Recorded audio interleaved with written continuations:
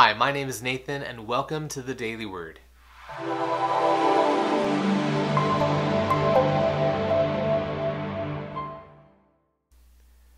On today's episode of the Daily Word, we'll be in Matthew 16, verses 15 and 16. Let's read the scripture together on the count of three. One, two, three.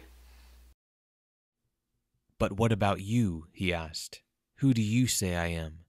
Simon Peter answered, You are the Christ, the Son of the living God. Our daily word for today is the word answered. Let's say this word together answered. So, what does that word answered mean?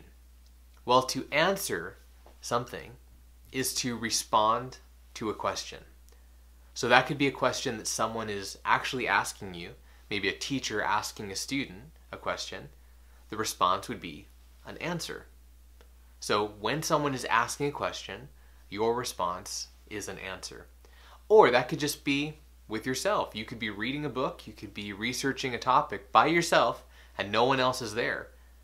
But you answer questions. Maybe you're taking a test or doing a homework assignment, and you answer questions. There's a question, and then you're responding, and your response is the answer.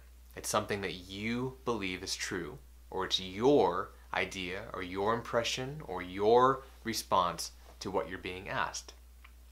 So, now that we have a basic understanding of the word answer, or in our sense, answered, the past tense of answer, let's put it back into these verses in the Gospel of Matthew.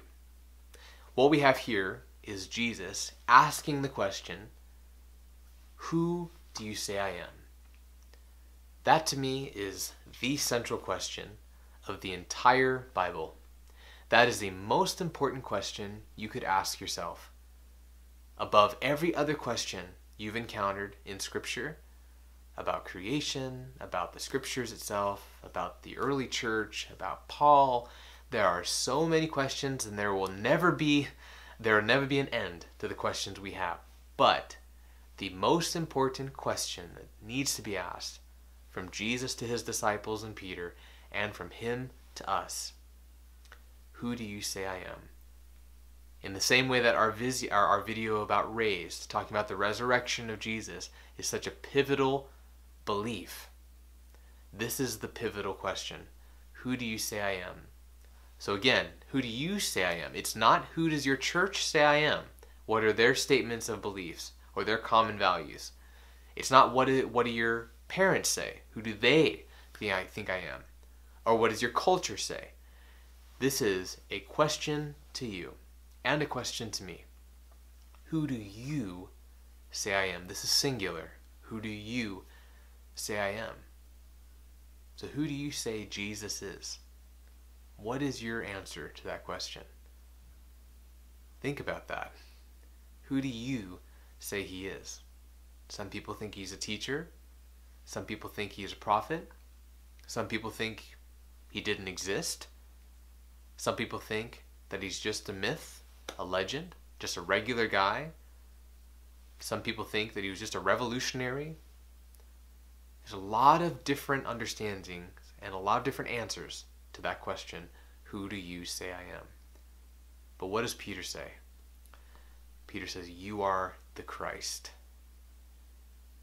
If your answer to that question, Who do you say I am? is not, You are the Christ, I encourage you to look into Scripture and ask the Lord to reveal truth in Scripture to you.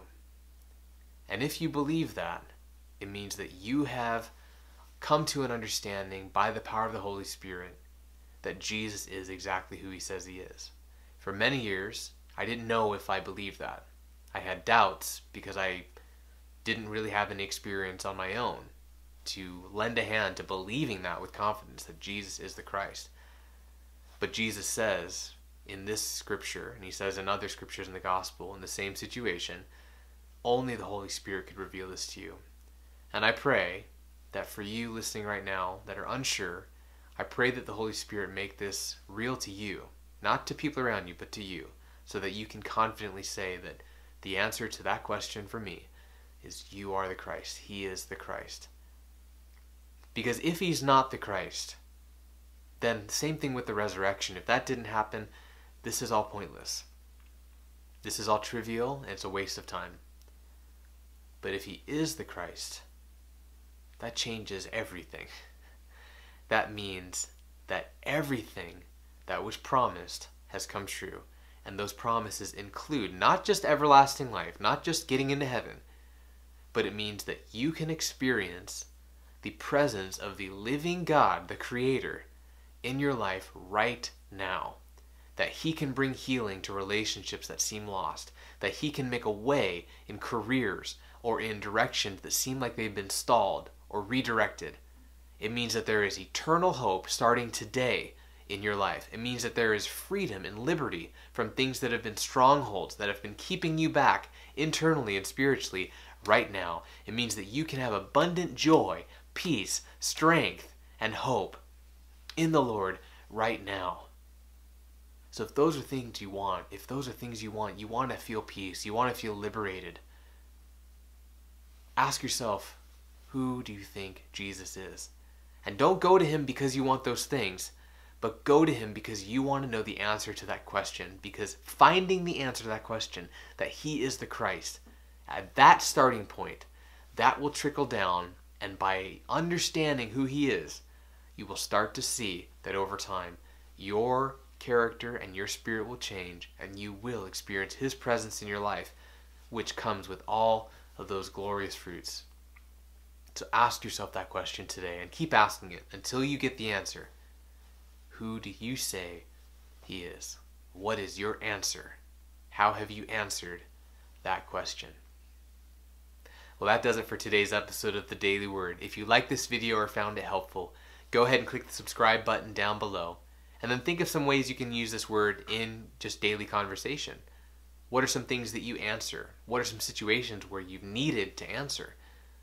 But more importantly, ask yourself how you would answer that question. Right now, looking at you right now, who do you say Jesus is?